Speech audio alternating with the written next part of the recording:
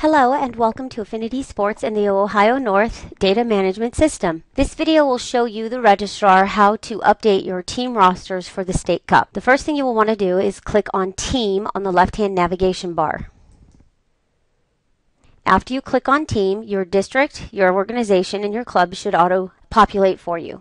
Then you'll want to go ahead and just click on Search to show all teams listed underneath your organization. Locate the team that you wish to update the roster for and click on the team name or the team ID number.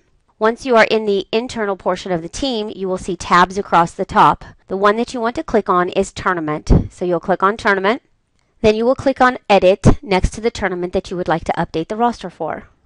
Once you are inside the tournament roster, you will click on Player Roster at the top of your screen.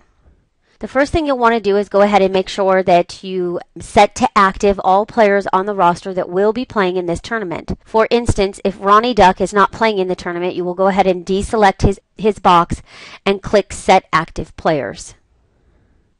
The next thing that you can do is click Add Club Pass Player. So if you have a player that you are going to Club Pass onto this team, you will select the Add Club Pass Player box. You'll do a search in the search line by entering the last name and some portion of the first name or all of it in the search for box.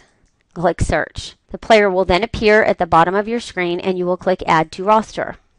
You will notice here that this player now has a club pass status next to his name. Once you club pass a player, you will notice that player is also listed down here to show you all the activity that is related to this particular team. You can then go ahead and click on the review tab and the review tab will show you all coaches that are the contact information, either coach or team manager. And at the bottom of the screen, it will give you the team roster. You can check to make sure that everybody that's supposed to be on the roster is verified here. At this time, you can also click on edit player team info and add your player jersey numbers in these locations. You will want to do it in both locations so that whether you are the home team or the away team, your jersey numbers will print. And then you will click Save Changes. That completes you're updating your roster for the State Cup roster.